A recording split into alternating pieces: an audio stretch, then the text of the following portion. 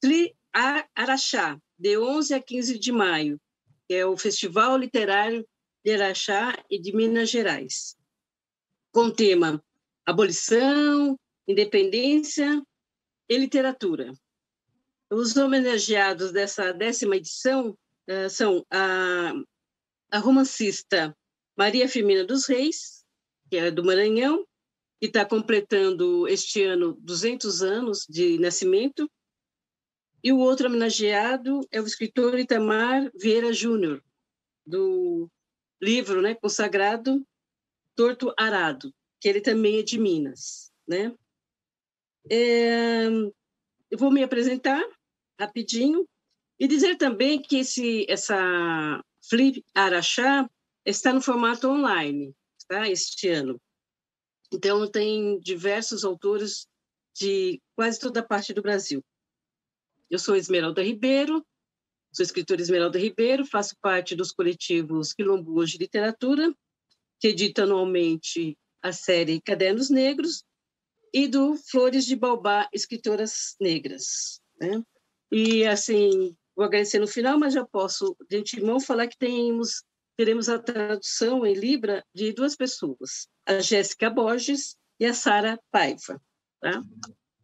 E Hoje eu vou conversar com duas escritoras negras potentes, que eu amo muito, acompanho muito o trabalho delas. É a Geni Guimarães e a Eliane Alves Cruz. Tá? Eu vou ler uh, o currículo de cada uma antes da gente começar, porque é, é importante né, essa leitura. A Eliane Alves Cruz é, cario, é carioca, escritora, romantista e jornalista. Pós-graduada em comunicação empresarial, trabalha como colunista do site UOL, entrega, integra a equipe de roteiristas da Paramount Brasil. Ela é autora dos romances Água de Barrela, O Crime do Cais do, do, do Valungo, de Valungo, Nada Digo de Ti, Quem Ti Não, não Veja, Não Veja Solitária, até o momento, a autora tem também um livro infantil publicado, A Cobra Frondosa da Árvore, e está em mais de 15 antologias de contos e uma de poesia. Agora, nossa querida Geni Guimarães. Nasceu na fazenda de Vila Boas, Vilas Boas, município de São Manuel, no dia 8 de setembro de 1847. Ela quis colocar isso aqui, tá? Eu estou só lendo o que ela, ela quis falar. Casou-se com Edivaldo Ferreira Guimarães, que já é falecido, com quem teve dois filhos, Christian Leandro Guimarães e Clesley Evandro Guimarães. Uh, tem hoje quatro netos, sendo um casal de cada filho. Na infância e na adolescência, esboçou seus pequenos textos, que posteriormente foram publicados nos jornais da região, lançou em 1979 seu primeiro livro, Terceiro Filho Poemas, cuja publicação a colocou em contato com o movimento negro literário. Um pouco mais tarde, publicou Da Flor o Afeto, poema, depois Leite do, Leite do Peito, contos, e Balé das Emoções, poemas. O livro A Cor da Ternura Valeu-lhe prêmios como o Jabuti, que motivou convites para palestras na Alemanha, Suíça e Áustria. Posteriormente, publicou Dona das Folhas, O Rádio de Gabriel, Aquilo que a Mãe Não Quer, todos infantis. Foi convidada a participar de várias antologias nacionais e internacionais, entre as quais Chuvars Poesie, uh, da Alemanha, né, Alemanha Ocidental, apresentou na Secretaria da Cultura da Colômbia, trabalhos literários no projeto As Diferentes Faces da América Latina. Lançou no ano de 2020 o livro Penalty, Literatura Infantil e também poemas do Regresso. Lendo isto, né, o, o, o, o currículo das minhas amadas, agora eu vou para o poema da Eliane, que eu tenho aqui do Cadernos Negros 39. Negra Babel.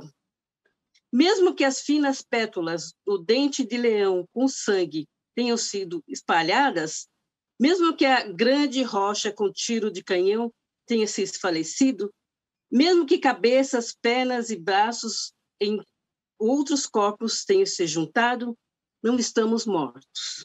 Mesmo que esmagados, com fruta que, espremida à força, dá o sumo, a polpa, a casca bruta, mesmo que as sementes tenham sido violentamente esparramadas, teimosas, brotaram, resistentes, multiplicaram. Mesmo que as línguas tenham sido propositalmente embaralhadas de muitas que se fizeram outras mais. E mesmo disperso, ficamos juntos. Em todos, em tempos de guerra, de peleja, de luta, mesmo ainda em busca da paz. Negra Babel, de Eliane Alves Cruz. E de Geni, eu leio Cadeira de Balanço, é um dos poemas publicado no livro do livro Regresso, da editora Malê. Vesga contempla o sol, se inebre da beleza que somente o teu ver vê no mundo. Pinta tudo na infinidade das cores que capta da natureza a sua lua. É sem fases e sem eclipses. Pura e boa, perdoa. A insensatez dos homens na barriga do planeta. Menina pena, dá-me o teu néctar de alfazema e me respira. Brinca de brincar comigo. Rouba-me das nuvens e me acolhe plena. Cadeira de balanço de Geni Guimarães. Amadas, vamos conversar por uma hora, mas eu pergunto para vocês: o que o racismo não impede de vocês fazerem no campo literário? Pode ser a Eliane Alves Cruz. Olá, boa noite a todas, todos, todos. Boa noite, Geni Guimarães. Uma honra muito grande estar aqui com você. Uma honra estar aqui com você também, mais uma vez, Esmeralda. Você sabe muito bem da admiração que eu tenho por você e por toda a turma do Quilombo hoje, do, dos Cadernos Negros. Eu acho que ali é a nossa calçada da fama, né? Eu acho que ali é um lugar de acolhimento e de palavras. E Cadernos Negros é uma iniciativa que o racismo não impediu de existir. Respondendo à sua pergunta, eu acho que o, o que o racismo não me impediu de fazer, muita coisa né? Escrever, existir, sonhar, pensar nessa nessa união descrita aí no seu no poema que você leu e que eu publiquei nos cadernos 39, é, não me impediu de, de, de, fabular a vida, de pensar finais diferentes, apesar das sequelas que ele deixa, né, e das feridas que ele abre, de não tentar curá-las, então, não me impediu de muita coisa, né? E não me impedirá e não nos impedirá. Eu acho que é por isso que nós estamos aqui hoje, celebrando umas às outras, celebrando a literatura e a arte e a existência mais que a resistência. Geni. Oi. Eh, boa noite a todos, então. E a Esmeralda, né? A Eliana. E eu estou muito feliz de participar desse, desse evento, porque eu sei a importância dele para nós todas, né? Para nós que trabalhamos com a, a, o objetivo de conscientizar, né? De quebrar barreiras, né? O meu, meu objetivo primordial com a literatura, né? É exatamente, é, primeiramente, é, conscientizar crianças negras e, e, e brancas, porque são elas que vão nos registrar depois. Nós vamos morar nelas e elas vão passar o que nós uh, estamos fizemos ou estamos fazendo delas e com elas. Agradecer a, a Esmeralda pela leitura desse poema, que esse poema uh, mexe muito comigo, porque fala de uma joia rara que eu tenho. É uma irmãzinha que chama Tema. Ela tem 78 anos e ela é especial, muito especial. E meu irmão faleceu, e agora eu tenho a honra de tê-la comigo todos os dias, 24 horas por dia. É um poema que eu, que eu fiz para a SEMA, né? E eu não sei histórias né, de, de abolição, de nada. Não sei porque não me interessa, eu não gozei dela, né? dessa chamada abolição, que foi, que foi falada há muito tempo e que a gente está fazendo abolição agora. Nós estamos fazendo a abolição. É nessa abolição que eu acredito, porque a antiga, eu peço licença para ler um poema que chama Oração de Rebeldia. Lei áurea que estás nos livros, santificando diversos nomes, deixai a nós o nosso reino, pois não faremos a tua vontade aqui na terra nem lá no céu. O pão nosso de cada dia fazemos hoje, para convosco não termos dívidas, nem para com ninguém que nos tenha ofendido. Livrar-nos-emos do vosso mal. Amém. É a minha oração de rebeldia que está falando sobre a, a, as leis, né, que mentiram para a gente, que aqui existia abolição. E eu não sei histórias, eu, eu sei fazer poemas e eu conto os meus sentimentos e o, os sentimentos de outros, né? Que a gente bate papo, vê, percebe, fazendo poemas.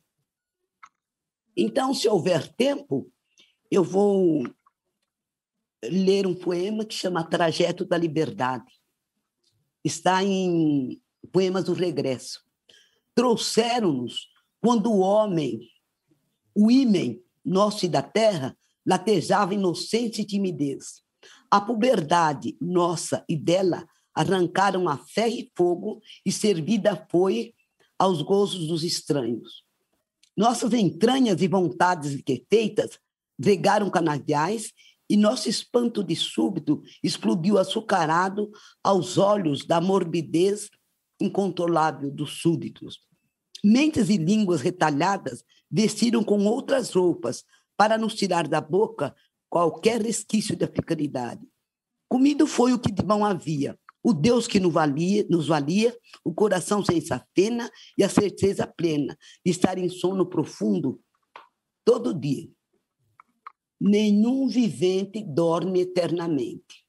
Nos despertamos, Refizemos nossos corpos, restauramos nosso peito, do coração arrancamos as satenas e fazemos hoje a verdadeira abolição.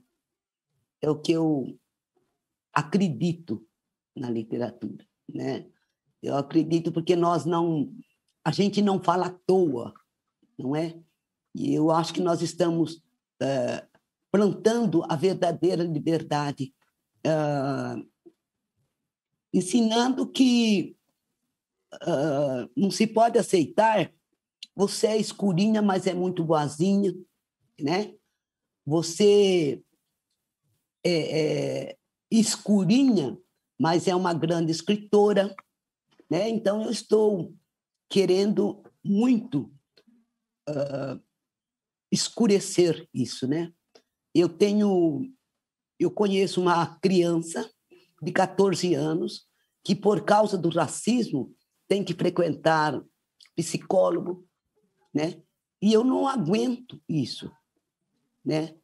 Eu, por exemplo, não frequentei psicólogo na minha na minha infância, na minha adolescência, porque eu nem sabia que existia isso, né? Porque eu estou com 74 anos.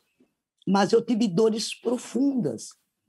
E depois eu fui descobrindo que era consequência do racismo. Na época, eu não sabia, não é? E depois também uh, fui descobrindo assim de modo muito doído, né? O meu pai não tinha uma orelha. E toda vez que eu falar, ô oh, pai, o que aconteceu com a sua orelha? Ele falava, o gato comeu. Perguntava de novo, o gato comeu.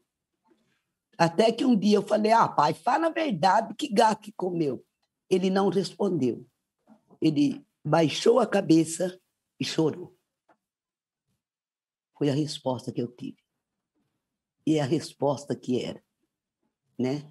A única, o que eu pude entender depois de muito tempo de, de, de negra, uh, negra mais vozinha, negra mais poeta, né? pretinha mais inteligente, eu aprendi e é essa bandeira que eu que eu ando com ela desfraldada, não meia hora por dia, sempre, em todos os lugares. Eu não posso ver nada ver nada, nada que, que discrimine alguém, porque eu volto e brigo mesmo, não, não tenho como, não sei, não sei ficar quieta, mas tá bom. Daí o meu neto escreveu um bilhete para mim, tá bom para um pouco. Mas aí, eh, minhas, minhas amadas, com esses 200 anos da Maria Firmina, dessa rebeldia que a Geni acabou de falar, né? Eu acho que também, né, Eliana, que você falou um pouco, o que não nos impede, o racismo não impede da gente nós sermos rebeldes, né? De nós fazermos essa nossa rebeldia literariamente. Mas assim, poeticamente, o que, que vocês gostam mais de, de escrever? Vocês se sentem que qual o gênero quando vocês estão trabalhando, quando vocês estão criando, que vocês gostam mais tem o que gosta mais ou se vocês gostam de todos os gêneros literários que vocês né, é, trabalham? Porque como Maria Firmina dos Reis, que é também para a gente né, uma referência, uma primeira romancista né, do Maranhão, como a primeira mulher negra né, a escrever um romance, o que para vocês, qual é o gênero que mais uh, impacta vocês, que vocês mais gostam? Depois eu vou falar da literatura, já que vocês depois da literatura infantil, mas eu quero saber primeiro do, do qual o gênero literário que, que vocês mais gostam. Bom, vou começar aqui então, né? É, é. Bom, eu sou essencialmente romancista, né? Eu escrevo essencialmente romances, o que dá um trabalho danado, né? Porque são narrativas muito longas, é uma pesquisa enorme, enfim, é, é, é uma, é uma escrita de fôlego, mas a minha paquera grande, né, como dizem os jovens, o meu crush, é sempre a poesia, né? Eu acho poesia o máximo, como diz na música do Caetano, língua, né? E quem há de provar que, é, que quem há de desmentir, né, que ela lhe é superior. A poesia lhe é superior. A poesia é incrivelmente é, resumidora de, dos sentimentos, né, daquilo que está mais profundo. Então, eu escrevo prosa, mas eu paquero muito com a, com a, com a poesia, porque algumas imagens só a poesia alcança, né? Algumas coisas não tem jeito, a gente tem que recorrer a essas metáforas, essas, esse jogo de palavras, e às vezes é, palavras até que não fazem total sentido na, na, na lógica, mas aquela sonoridade te leva para algum lugar, né? Então eu, eu gosto bastante de poesia, embora eu não me sinta poeta, não sou poeta, eu acho que está um nível mais acima, é, mas arrisco algumas coisas, né? E uso e, e tento usar na prosa, no, no, que eu escrevo de prosa. Eu concordo com a Geni plenamente de que a gente precisa conquistar as crianças, né? A gente precisa é, entrar nesse público e abraçar esse público. Então, eu tenho um livro de infantil e vou lançar esse ano um outro, que é um texto que eu escrevi aos 18 anos, praticamente uma criança. Uhum. Hoje, daqui da minha, né, eu que sou uma senhora, fico olhando para trás e vejo que aos 18 anos eu era uma criança, né? Então é um é muito estranho essa coisa do tempo, é muito fascinante, né? Esse, essa magia que o tempo tem de, veja bem, a essa altura me fazer uma, uma escritora muito antiga, porque eu vou publicar um texto que tem muitos e muitos anos, né? É, então a literatura tem essa magia. Eu escrevo romance e tento sempre o, o que eu acho, eu tento me desafiar.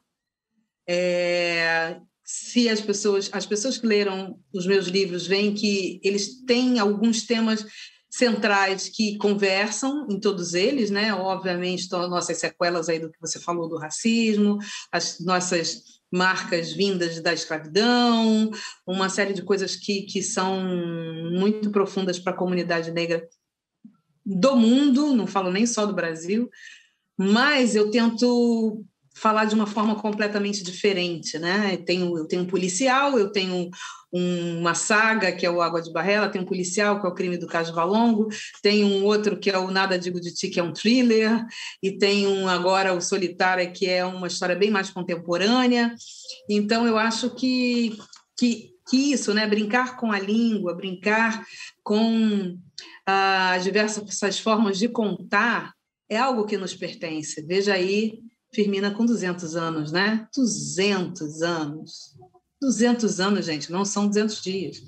Então, é uma herança muito grande. E olhando a biografia dessa escritora, a gente vê o tanto que ela passeou em diversos gêneros, o tanto que ela arriscou escrever em artigos, em composições, e, e o romance Úrsula, enfim, uma artista completa, né? E eu acho que ela está sinalizando para a gente de que a gente pode, de que nada pode parar a gente, que a gente precisa se apropriar da palavra, porque ela é nossa, sempre foi. 200 anos de Maria Firmina dos Reis. Estamos aqui, né?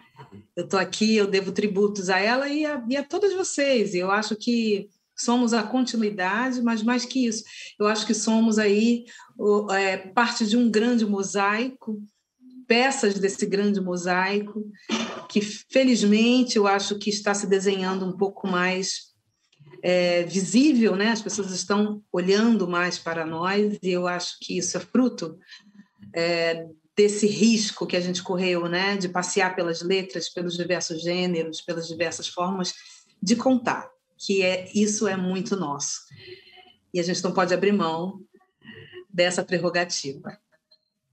Liana, ainda, Liana, ainda nessa linha da, do relacionamento literário, você disse da paquera, né, com a, com a poesia. Por que não namoro e não noivado e não casamento? Meu Deus não... do céu! Eu não sei. É, é, é. Vamos ver, né? Vamos ver. Mas por que? O que, que acontece? Vamos dar o tempo ao tempo. É porque, porque os relacionamentos não avançam. Né? No, no namorar. Eu leio a Geni, eu leio você, eu leio todo mundo, Conceição, eu leio todo mundo e fico ali, né? Arriscando. Mas qual, o que te impede no, do, do relacionamento do não, namorado? Nada impede, nada impede, não. Do noivado e do casamento. Não, nada impede, nada impede. Eu acho que o que acontece comigo, né? Eu acho que eu tinha algumas urgências. Primeiro, eu precisava falar, e aí eu me bem me identifico com a Geni, né, que ela tem um romance, um, um, livro que é bem autobiográfico, que fala muito dela, né, da, do passado dela, da vida dela, do, do pertencimento dela é, de vida. Então eu tinha essa urgência de contar aquela história do Águas de Barrela, porque ela estava ali na minha frente, pulando há muitos e muitos anos, eu precisava escrever aquele livro.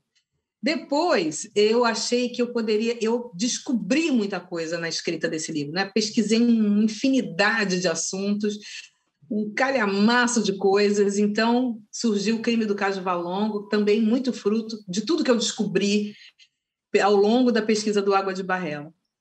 Veio Nada Digo de Ti, que também é um pouco isso, né? Eu tinha muita coisa, né? E ainda tem muita coisa.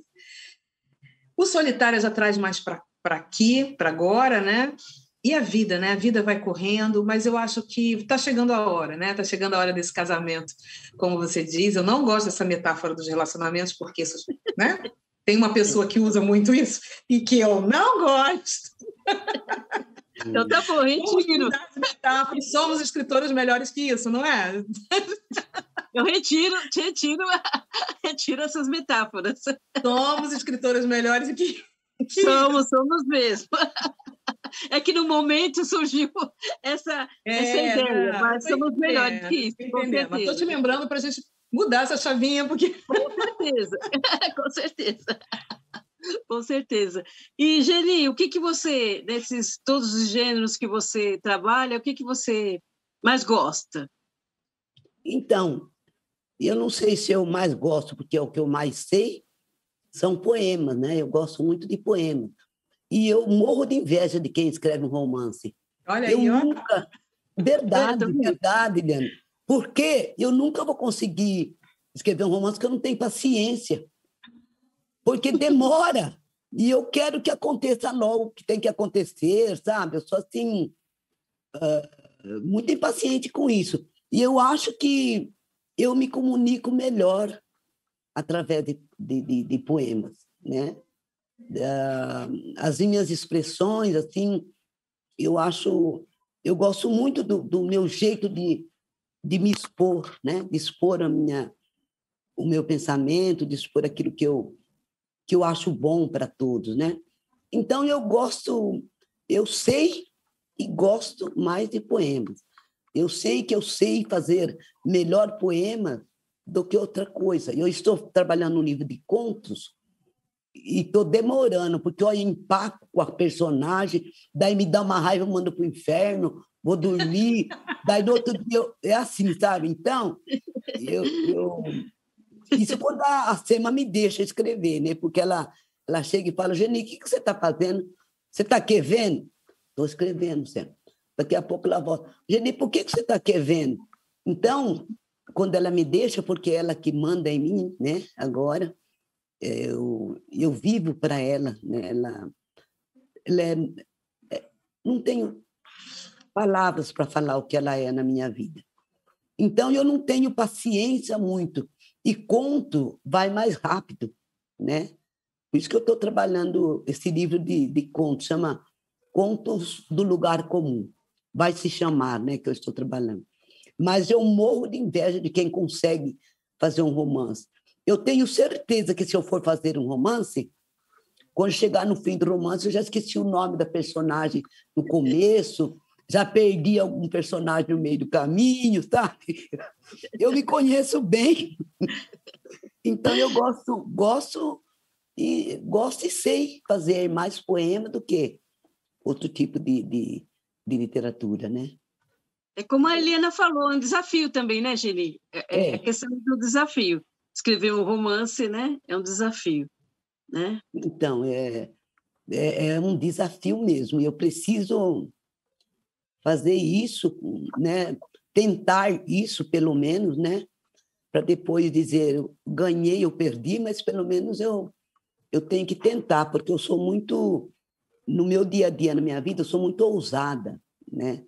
Acho que eu sou até encrenqueira, de, de assim, porque eu não, não deixo nada sem dar resposta, principalmente quando eu vejo qualquer questãozinha de, de, de preconceito, daí eu viro demônio e não tem quem me aguente, né?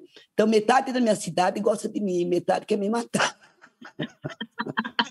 Geni, pelo amor de Deus, queremos você viva. Normal na nossa vida isso, gente. É, pelo amor de Deus, Geni, a gente se salva. Eu moro aqui, eu moro é. nessa cidade, nessa casa, há, há 40 anos, nessa casa. Mas eu já morava noutra vila, então, é, eu sou conhecida, todo mundo me conhece, né? Sou amicíssima dos nóia da rua, então tudo são legais comigo, tomam conta da minha casa, sabe? Pede um real. E, então é assim, não tenho, sabe? É, é, é uma benção saber que, que eu vivo aqui há tanto tempo, né? Uh, e muitos Muitos e muitos gostam de mim, muitos e muitos têm inveja da minha vida, né? Num, da minha vida de, de mulher independente, de, sabe, de ninguém manda em mim, de que eu vou e faço, porque muitas mulheres se acham realmente frágeis e submissas, né? Agora, não, não dá, para mim não dá essas coisas, né? Não, não aguento isso. Então, é assim. Mas eu vou, morrendo de inveja da Liana, eu vou tentar um, um romance. É, nós estamos cobrando, né, Eliana? Nós esperamos. Você é talentosa demais, pelo amor de Deus. Vai ser Nós e o público todo estamos esperando. Falando nisso, Eliana, um, a gente, né, e, e Geni, essa hum. questão da, da criança, né? Agora eu vou falar do, do, dos infantis que você escrevem. Ah. Foi fácil colocar, eh, daí eu pergunto para a Eliana, em primeiro lugar, foi fácil colocar essa, essa criança, essa menina negra, ou olhar uh, para a literatura infantil, foi fácil para vocês? Eu pergunto para a Eliana primeiro, depois a Geni Menina, responde. olha, eu vou te falar, escrever para criança é muito difícil.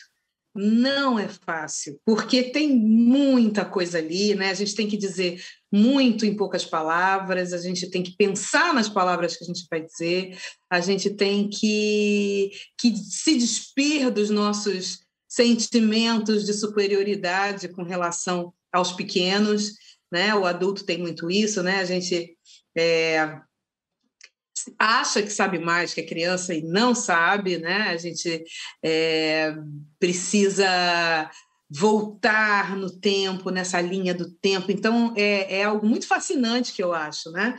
Muito fascinante mesmo. Eu aprendo demais quando eu, quando eu converso com crianças e quando eu escrevo para crianças. Eu, eu, eu tenho dois filhos, eu tenho meu filho já, já são grandes, né? Minha filha está com 15 anos, meu filho está com 22. É, mas eu, eu, eu, eu aprendi demais com a infância deles, né? E aprendo com, a, com as infâncias que estão ao meu redor. E a, essa questão da infância ela é muito cara para mim, né? Se, se você olhar, um dos temas recorrentes em tudo que eu escrevo nos romances é a questão do quem tem direito a ser criança. É, todas aquelas personagens tiveram infâncias interrompidas.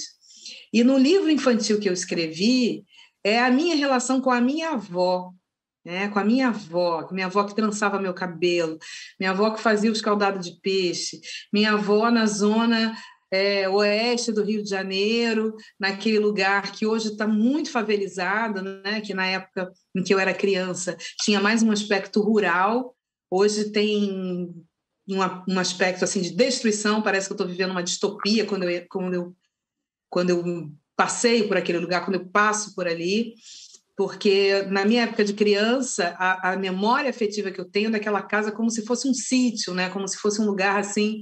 E era ali, né? Zona Oeste do Rio, Realengo, Campo Grande. É, e, e, então eu coloquei isso no livro e porque são relações que eu acho que a gente precisa resgatar a gente tem uma juventude que acha que sabe muito, né? Eu acho que a gente precisa promover esse encontro geracional, esse reencontro com as gerações, esse amor e respeito por quem veio antes. É algo que o Brasil, de uma forma geral, precisa resgatar.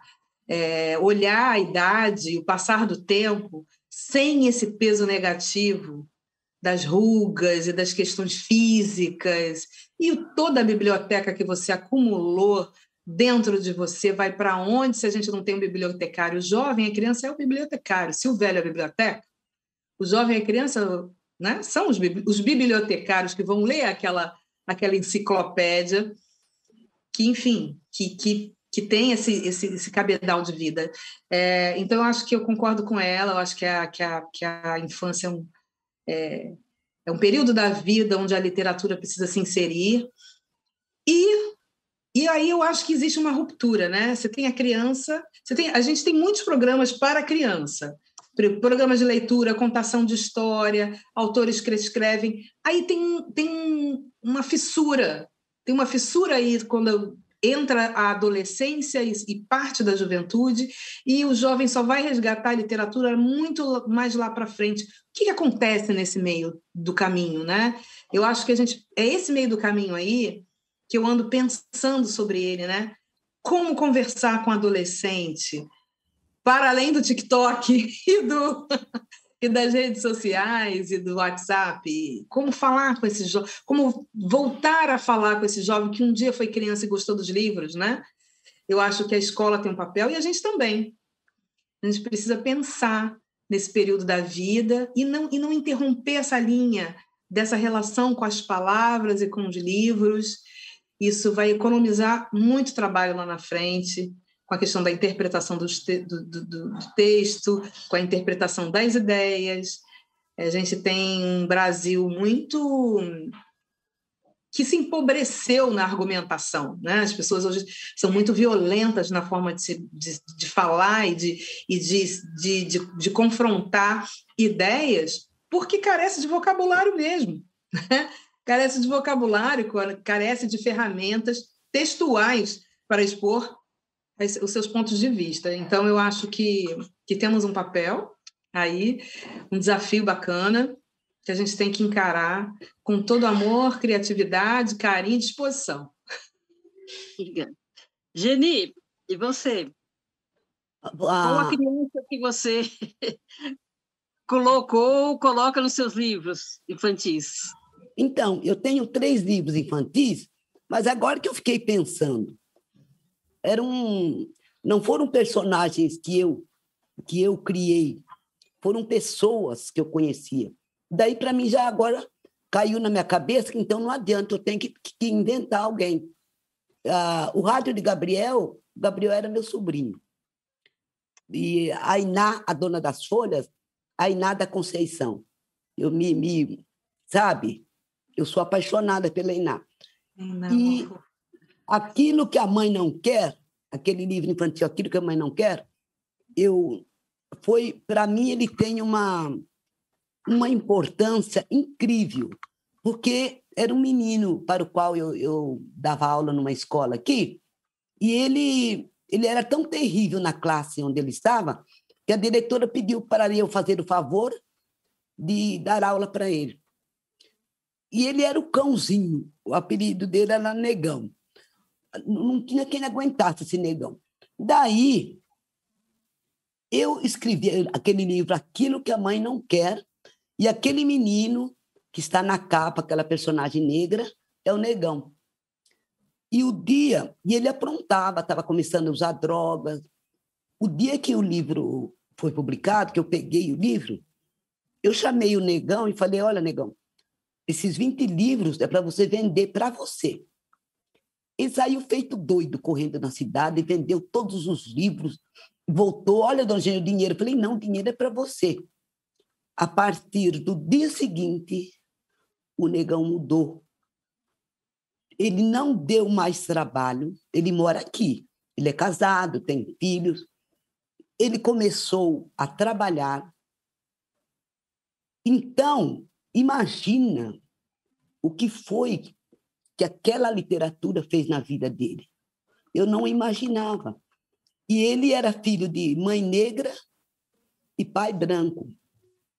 Então, ele tinha irmãos brancos e irmãos negros. Eu acho que, então, ele vivia esse conflito, sabe, na casa, né?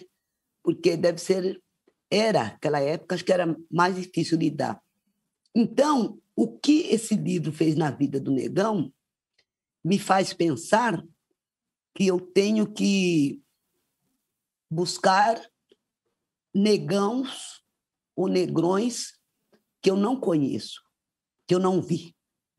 Entendeu? Trabalhar na literatura, aquele, aquela personagem que eu sei que existe, mas não está na minha cara. Eu acho que é um, um desafio, né? A gente, é, do que ouviu pela rua ou do que imagina que possa ser, né? Eu acho que é um desafio assim trabalhar mais a é como ela disse a literatura infantil. E, e também trabalhar uma como a Eliana disse também uma literatura voltada para o adolescente né? Com outras palavras ela disse isso. Porque o adolescente hoje eu tenho adolescente na minha família tá assim é o celular o dia todo né? Insuportável isso. Insuportável. Insuportável. Celular o dia todo. E, nossa, tanta coisa que, que eu fico pé da vida. Então, a gente tem que começar, eu, falando por mim, né? Começar a fazer essas crianças despertarem para uma coisa melhor, para a literatura, né? Porque não vejo assim aos montes livro específico para, para a juventude, para, para os juvenis. Sim. E eu, né, eu tenho na minha casa, eu tenho neta é, com 14 anos, que eu quase mato também, porque eu fico o dia inteiro no, no tal do, do abençoado celular, e eu não posso fazer nada, porque ela, ela não tem uma literatura própria para ela, para ler. Né? Ela deve ter dado uma olhada nos meus livros. Eu acho que ela nunca leu. Não interessa para ela. Não é verdade? Não é o, o que é chamativo para ela. Basta ser neta de Geni Guimarães, para ela tá bom, né? Mas não é isso que eu quero. Eu quero muito mais para principalmente é para crianças, né? Para os infantis mesmo e para adolescente, porque do contrário, a abolição que estamos querendo que estamos querendo não, que estamos plantando não vai vigorar. Não é? Senão o que nós estamos querendo deixar assim como espelho, como como uma reta a seguir, não vai adiantar, né? Então eu acho que nós temos que, que trabalhar exatamente nesse sentido que a Eliana falou, né? De buscar o, o as crianças e eu acho eu, eu acho que principalmente o adolescente que eles estão muito perdidos, né? E com essa pandemia que alterou a vida de todo mundo, não pode ir para lugar nenhum, não podia.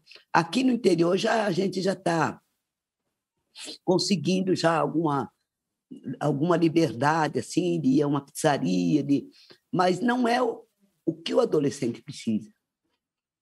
Ele precisa de uma liberdade que ele controle. Não que o tempo controle os pais. Ele precisa de uma liberdade que ele busca. Uma liberdade correta, né? uma coisa boa.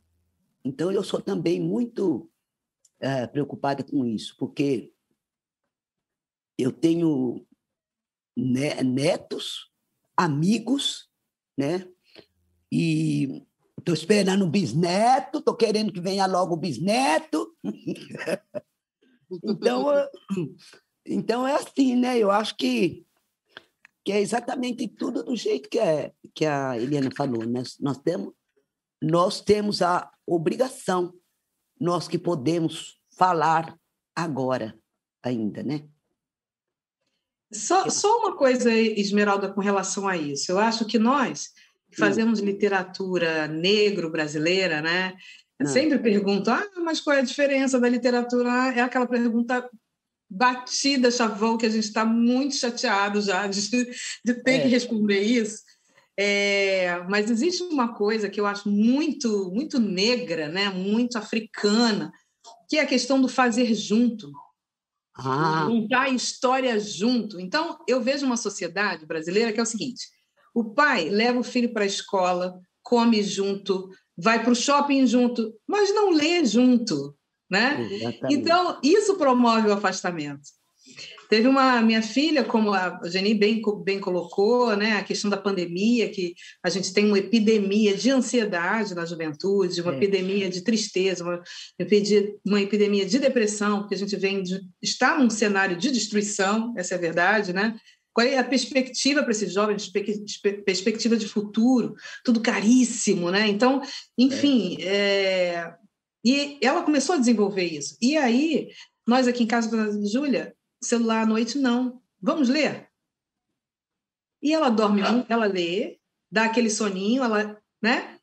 Dorme muito melhor e tem um conteúdo diferente ali. Hum. É, então, eu acho que trazer essas pessoas para abraçar essas pessoas e, e, e, voltar lá nas nossas origens do fazer junto, eu acho que é um caminho. Né? A gente esqueceu um pouco isso. É, a via fundamental são os clubes de leitura, né? Exatamente. Criados, eu acho que é são fundamentais para para incentivar essa questão da leitura, né? essa questão de, das pessoas lerem, discutir, é, colocar suas impressões né, do que leu. Acho que são é, vários caminhos e, e, várias ações que teve, temos que fazer né, para que uhum. realmente é, se implante esse, esse, esse gosto pela leitura. Porque com, com o celular na verdade, acaba até transferindo. Ah, você pode ler, né? Porque eu não gosto também de ler livros pelo celular, né? Quer dizer, é, é mas a gente gosta da, do livro físico, né? De pegar, folhear, né? Mas, assim, eu acho que vocês estão assim, falando umas falas super importantes. A Geni falou dessa coisa da literatura também, da nossa escrita que salva, né? A, gente, a, nossa, a nossa escrita, a gente tem, a, a, sabe, daqui notícias de lá que salvam. Mas, assim, rapidamente, uh, o que vocês não escreveriam, Geni? O que você, uh, uh, por tudo que você já escreveu, conto e tal, mas qual tema que você acha que não abordaria, ou você não nunca abordaria, ou você nunca pensou em fazer e não quer fazer, e não se sente à vontade em, em, em trabalhar com esse tema? Eu? A Eliana? Pode ser você, só para mudar um pouquinho. Eu, ah, não, eu nunca, nunca pensei nisso, em não trabalhar determinado tema. Sinceramente, nunca parei para pensar nisso. Eu sei que eu nunca vou escrever que eu sou negra, mas sou boazinha. Né? Que eu sou negra, mas sou inteligente. Que eu sou negra, mas então não vou nunca contradizer uh, o que eu penso, o que eu sei, o que eu penso a respeito disso. Mas eu nunca pensei numa coisa que eu não vá escrever. Eu queria poder escrever tudo, entendeu? Eu queria ter tudo para escrever, para botar no papel, mas não pensei em tudo, né? Não dá para pensar em tudo. E se eu pensar um dia em alguma coisa que que me incomoda mais do que o racismo, eu vou escrever. Existe? Eu penso assim. Então, não sei, não, nunca parei para pensar, não vou escrever sobre isso. Até porque o coração da gente, a gente não manda, né? O sentimento, a alma da gente, você não manda. Quando acontece, pula, né? Então, eu não sei. Você sabe, Liana? Não faço a menor ideia. Como diz eh, os jovens, a gente falou tanto em jovens, em crianças, né? Não ah. sou obrigada a nada. é assim que dizem? Não sou obrigada a nada. Então, é. não sou obrigada a nada. Eu, eu, eu me sinto uma pessoa livre para escrever o que me der na veneta, na telha, do jeito que eu achar que eu, eu devo. Também. É, eu também. Enfim, é. eu, a única coisa que me passa pela cabeça é o seguinte: é que eu sou uma, uma mulher negra brasileira criada nos anos que fui criança nos anos 80, né? 70, 80. Hum. Então, é, eu fui daquela geração que cresceu com uma literatura que tinha apenas um perfil de pessoa no centro da cena, feliz e contente, né? Eu conheço tudo dessa história, né? Então, eu não quero mais ler escrever esta história, porque eu já vi tudo isso, está visto, né? Está visto, está visto. Eu já, já, sei tudo, né? E não só na literatura, a gente liga a televisão, vai ao cinema, a gente vê aquele mesmo padrãozinho da história da mocinha de não sei o quê, roda, roda, roda, espreme, espreme, espreme, e é aquela coisa, né? Com aquelas pessoas, aquele perfil no centro da cena. Então, eu tento me desafiar me colocando né, nesse, nesses lugares, né? Hum. Cadê? Quem é o personagem que eu ainda não ouvi falando? Quem é que eu ainda não ouvi? É, né? que, eu, que eu preciso investigar um pouco a vida, que eu gostaria que, de, de tirar o véu né? um pouquinho, assim, ver a vida dessa pessoa. Então, é pensando nisso que eu escrevo. Eu, recentemente, fiz um, arti um, um conto é, que eu achei que ficou bem interessante, ah. que foi é, um conto que o personagem principal era um escravizado do Tiradentes. Então, era o Tiradentes, né? a história da, da Inconfidência Mineira contada pelo cara que foi escravizado pelo Tiradentes. O que será que esse cara viu? Né? O que será que hum. passou na cabeça dessa criatura? Então, esse, esse exercício de criatividade é que eu acho bacana, para mim, né? Veja é. bem, não existe uma receita de bolo, essa é a receita da Eliana. Hum. A Geni tem, tem as suas necessidades, a Esmeralda tem a delas. Para mim, eu, eu, eu, eu tento me desafiar fazendo algo que eu não vi quando eu estava nos bancos escolares, ou que eu né, é, me tornei jovem lendo. É, ver pessoas diferentes, com caras diferentes, com gêneros diferentes, com, né, com, com... E, e, não apenas no presente, mas no passado. Né? O, o Nada Digo de Ti tem uma personagem trans em, nos anos 1700. É. Porque essas pessoas existiam, e cadê elas né? na, na, na nossa literatura? Cadê é. elas? No... Então, essa curiosidade me impulsiona para escrever. Então. Não é que eu não vá escrever, não, nunca pensei em não escrever sobre nada, mas eu sei o que eu quero. Né? Hum. Quero escrever, eu sei. O que eu não quero, não sei. Legal, obrigada. Geni. Claro, oi. Tem alguma coisa para a gente, Geni? A gente já está quase nos, nos, finalmente. Ah, eu, eu tenho poemas. Eu, se você quiser um, um poema, Pode eu, ser. Eu vou ler um, um poema que foi premiado não sei onde, não sei por quê, que se chama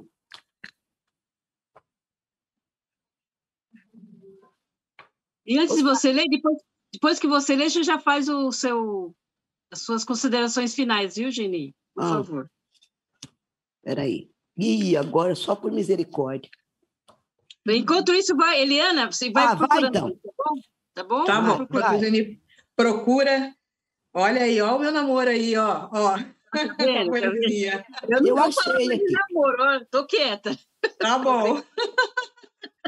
Bom, eu escrevi um texto, eu, eu agora lancei um livro chamado Solitária, em que eu fiquei muito pensando nessa palavra, né? em tudo que ela encerra, não só no sentido de solidão, mas de cárcere, enfim, né? tudo que ela pode suscitar. E aí eu tenho um, um texto, que é um poema, que diz assim: Deixe que da minha solidão cuido eu. Deixe que da minha solidão cuido eu. Não quero ajuda para criá-la no quintal de casa ou no jardim de inverno. Não. Esqueça a ideia de convidá-la a se retirar da minha sala de mal-estar. Necessária visita que, aqui está, legitimamente, comendo comigo os legumes da sopa de anestesia das dores. Dona Solitude sabe disfarçar. Ela chega camuflada, em amores de plástico, vem de braços dados, com sorrisos congelados, entra em uma multidão de corpos iguais. Deixe que ela me conte segredos de mim. As últimas notícias da cidade chamada Eu. Permita que isoladamente ela tome o chá da tarde olhando o pôr do sol no mar. Que me conte passados e invente futuros. Deixe Dona Solidão falar. Ai, que lindo! É, mas, é, Eliana, ela... faz um encerramento. Espera só um pouquinho, Geni. Deixa a Eliana fazer o encerramento, ah. daí você... Você então, eu só tenho a agradecer esse encontro inédito com Geni Guimarães, finalmente encontrei é. Geni. Muito obrigada pela sua escrita, pela sua literatura, pela sua resistência durante esses anos todos, por estar aqui, por permitir que assim eu trilhe um caminho é, muito mais aplainado, né? não uhum. fácil, mas um tanto mais adocicado graças à presença de, de vocês, de vocês duas. Muito obrigada. E eu espero sinceramente, né, que a gente esteja construindo realmente é, a arte de um jeito novo, de um jeito realmente agregador e que a gente no futuro olhe para essas nossas obras como a, o retrato de um tempo que passou. Esse é um sonho que eu que eu sei que não vou ver, não vai ser para os meus olhos, mas eu acho que a gente tem que começar a pensar a vida para além da gente, né? para além dos nossos olhos. É, é, é assim que se constroem é, os artistas, que se constroem as, as, as obras que a gente considera de arte. Muito obrigada, muito obrigada, muito obrigada. Eu faço da, da eu faço da, da palavra da Eliana minha, né? Tá tudo certinho. Parabéns, querida. Eu, dentro dessa questão de que a gente, que eu, eu penso em mudança, em transformação, eu vou ler um poema que se chama Reforma. É preciso arrumar o peito e preservar o jeito de ser feliz, difundir o amor que dá rumo à vida e plantar no coração do homem felicidades sem desespero. É preciso impregnar a terra de paz e harmonia, viver o dia a dia em constante construção, ser útil fértil, pulmão e ventre, recheados de certezas quentes de uma manhã pleno de estrela e luz. É preciso derrubar muros, desativar cadeias, varrer do ser o velho ranço, triturar as teias que nos mesclam o desejo de ser bom tatuar nas consciências o direito de ser vivo com dignidade, implantar nas almas da cidade a leveza da fé e a verdade fácil do sorriso. Essa, esse é o meu propósito de vida. Pronto, então, eu... obrigada. Esse é o seu encerramento. Então, uh, encerramos aqui uh, esse evento da, da décima uh, Free Araxá, né? E uhum. até o dia 15 de maio terão outros eventos. Eu quero agradecer muito a Geni Guimarães, Eliane Alves Cruz, por ter me ensinado muitas coisas hoje, eu aprendi, pela paciência, né, que eu nunca fui mediadora, né, espero que vocês me dêem um, um agô, eu vou uhum. aprender, é um desafio, né, como você, nós mesmos estamos falando desafios, foi um desafio estar uh, tá aqui com vocês, e assim, e, e, aprender muito, né, que a gente sempre aprende, né, encontro de gerações, é muito importante essa, esse encontro de gerações, como a Helena falou, né, uma coisa que vai ficar registrado, essas nossas falas, nossas escritas, para que as pessoas futuras, né, as pessoas interessadas futuras possam uh, saber mais das nossas produções. E leiam mais também a, a Maria Firmina dos Reis, a primeira romancista, né, uma mulher que se colocou, que fez, como bem, bem lembrou Eliana, ela tem, tem poemas, tem romances, tem, ela escreveu contos, então foi uma mulher, assim, uma escritora múltipla. É importante que a gente também né, é, é, leia leia a Maria Firmina dos Reis. E também é homenageado, né, Itamar Vieira Júnior, Cultor Tarado, que é um livro assim que já fizemos um, um clube de leitura, já fizemos a leitura, que é um livro potente que não precisa dizer mais nada, já ganhou o prêmio Jabuti, né? Eu quero agradecer o convite do Tom Farias, que foi o foi o mentor, né, de toda essa essa da Flip Araxá, desse, da décima Flip Araxá, eu quero agradecer também a, a tradução das duas pessoas de Libra, a Jéssica Borges e a Saraiva, a Sara Paiva, né? E também em toda essa organização, a Pauliane, que, que fez todas essas mediações, os convites, e o Matheus, que está aí uh, operando, né? Eu quero agradecer muito, e o público, né? Que é importante que tenha, tenha que os público, que o público que nos acompanhou uh, tenha gostado e, e, e, revisite toda essa nossa live que realmente ela é, foi potente, de muita reflexão e que a gente possa produzir a partir daí também outros escritos, outras literaturas, do qual a Geni Guimarães nos ensinou e com a Eliana Alves Cruz. Muito obrigado e gratidão por vocês duas. Muito obrigada.